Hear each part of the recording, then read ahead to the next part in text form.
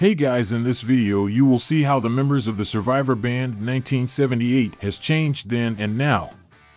Let's go!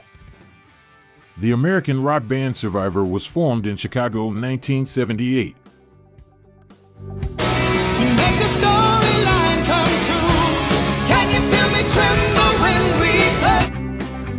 Dave Bickler Dave started his music career as one of the two singers in the band called Jamestown Massacre in the 70s.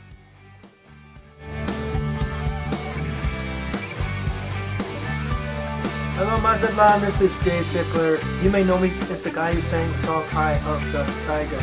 Dave Bickler records with other groups in the Chicago area.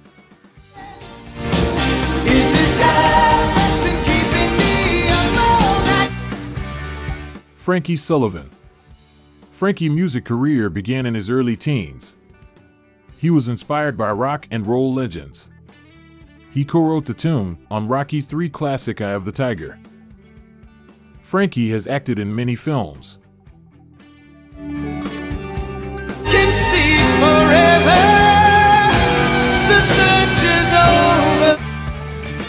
Jim Peterik.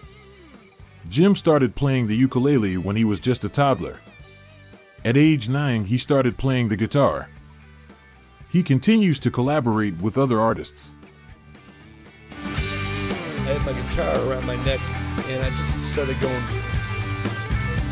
you know. Today, Jim has released dozens of solo and collaborative albums.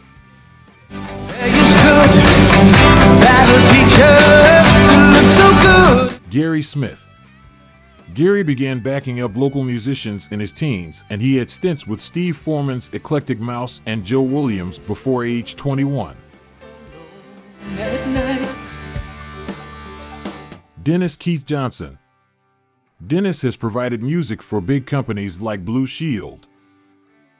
Dennis still performing, composing, and arranging to this day. He has been in the music industry for over 50 years.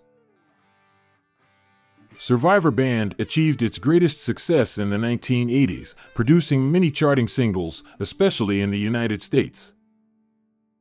They only had a brief split in 1989 to 1993. The hard rock band Survivor is still performing around the world. Thanks for watching.